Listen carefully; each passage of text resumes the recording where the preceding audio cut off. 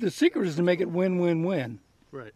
If you set yourself up so that what you're producing helps the community, helps the environment, helps you, everybody's better off.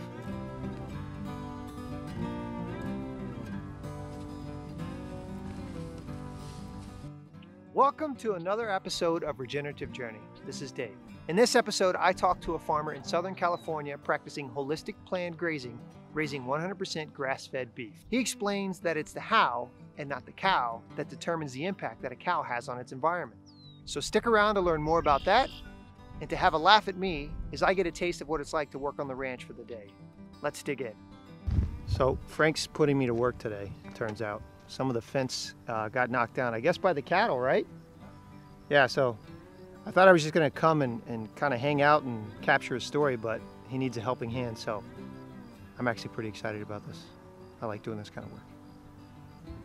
Yeah, we got plenty of juice. They tore it down over there. Hang on. Want to go for a walk? Yeah, good. You know how to tie fence back together? Well, but you can show me. Okay, well you tie bowline in one end, and you fill the other one back through, and then you pull it up Okay. and pull it up till the line gets tight, two half hitches. Okay. In that knot, a half hitch in the middle of the bowline and two half hitches on the back side. And so he gave me a quick refresher course. I think I did it right. We'll see. But you can kind of see the fence here. And then my handy knot work right here. Hopefully this does the trick.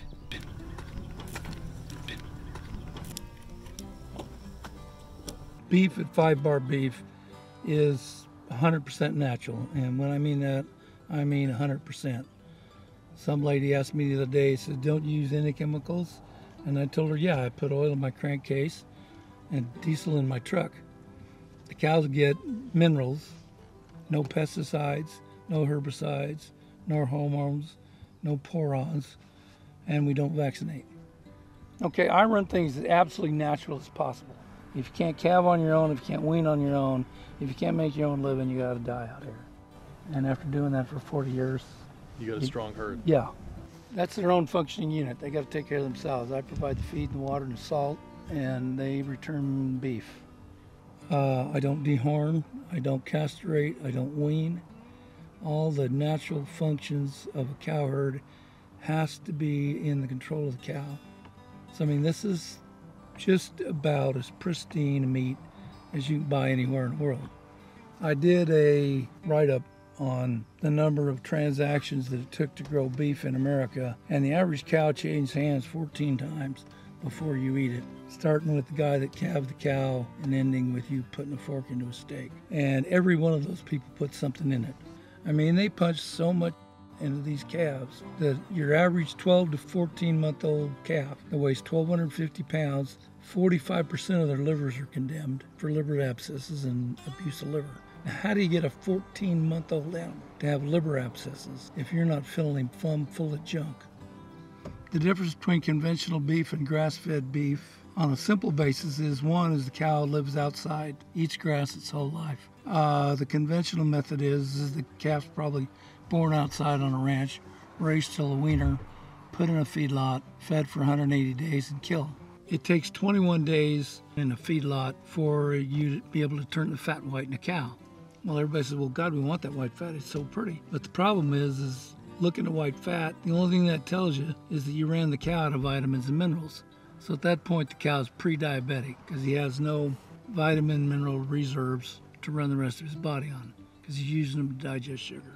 So if you don't want to get sick, eat grass-fed beef. There's 230,000 ungrazed acres in Orange County. There could be cows on every one of those damned hills, improving the watershed, growing grass, creating more oxygen, more photosynthesis, more beef, more everything for the community. Instead, we got a bunch of environmental activists that thinks that, well, God can fix it. Except that they don't realize that when they took off the cow and they took off the bear and they took out the cougar, they took out the mechanism that runs it. You can't do the environment in parts, it has to be done in wholes. No natural environment is rested. All of them, even the tundra in Alaska, is covered by millions of head of caribou. and the wolves that move them. What I'm trying to do is run cows like God ran buffalo. That's holistic planned grazing. Because we don't have a predator to move them, I'm the predator. I got a substitute, which means I put them in one spot, leave them and take them on, put them in another. So Frank's got us herding some cattle here. Have fun, guys. The cattle are just down at the bottom of the hill, and we gotta convince them to walk three eighths of a mile. There they are back there. So now we gotta zig and zag until we get them up there. So far, they seem to know the plan and they know where we're headed. They're way ahead of me. Cattle ranching's easy. So these guys put me on quite the chase. Zigzagging all over the place. There they are. Let's go.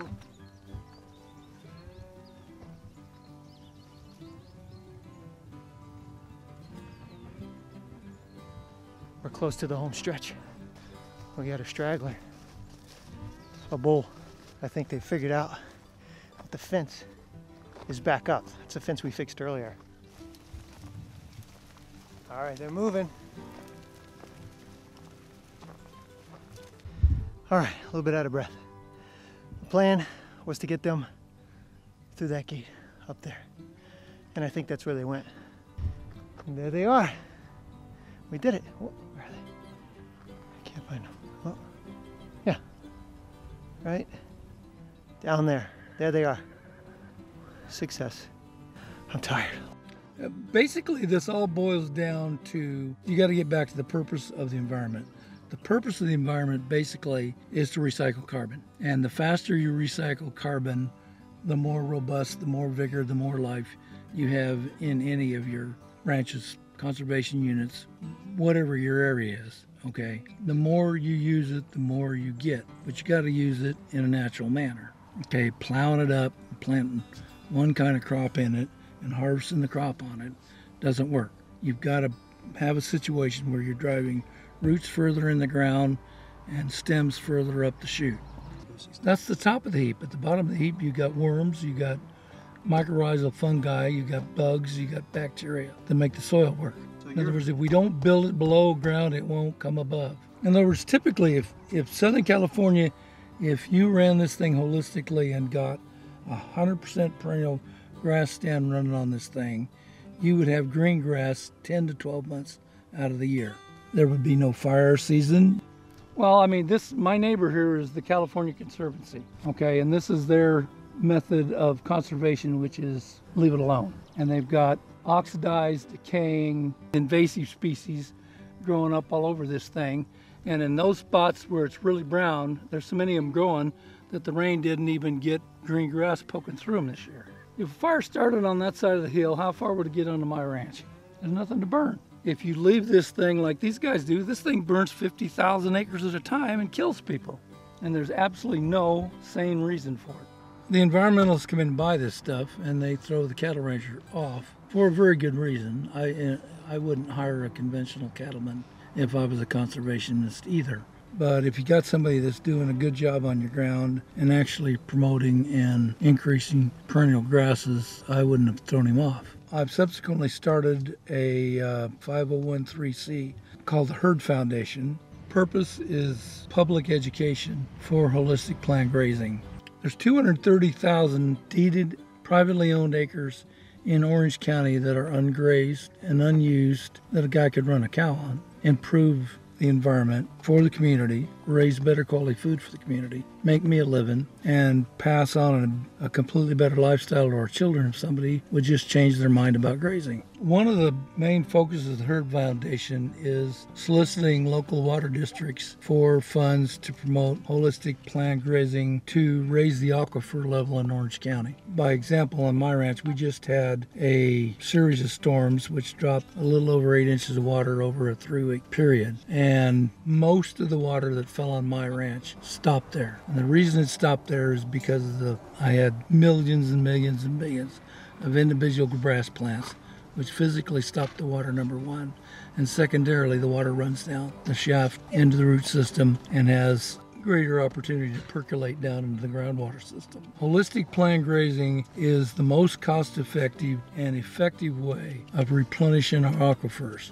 The example I tell everybody is take a jar of whole grain kernels, leave you a little space, and pour water into it, see how much water you can pour in it with all of that open area between the seeds, you can actually put almost half of a quart of water into a full quart of grain seeds. Take the grain seeds out, throw them away, put regular flour in it, leave you space at the top, and pour more water in it. And the water will soak into that flour about that far and then stop. And you can get about a tenth of a cup of water into a jar full of flour. Okay, it's the same thing. You open your ground up below, Root systems have shafts on them. Okay, the water runs, percolates, runs down the side, hits a little gravel area, runs back, goes down to something else, falls deeper in the ground, starts creating an aquifer full of water.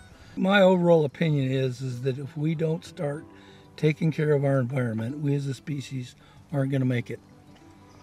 And politics included, the only system I see that works to perpetuate the long term survivability of our species is to holistically plant graze our environment. Holistic planned grazing is a pretty damn simple system for making the world a better place to live. You got to get up in the morning, you got to move your cows, you got to write down on your plan and make better decisions, and it'll work out in the end. Nature either looks good or it doesn't. Okay? Right after a fire, nobody likes the forest because it's denuded, it's it doesn't appeal to the human senses on any level. Really pretty ground that's holistically managed, that life is growing in abundance, is just absolutely appealing. Everybody wants to be around it. I hope you guys enjoyed that episode, and I hope you learned a lot. I know I did. I had a great day talking to Frank, had a great time getting a taste of what it was like to work on a ranch. And if you like this episode, please hit the like button down below. If you want to see more like this in the future, subscribe to my channel and let me hear from you in the comments. Thanks.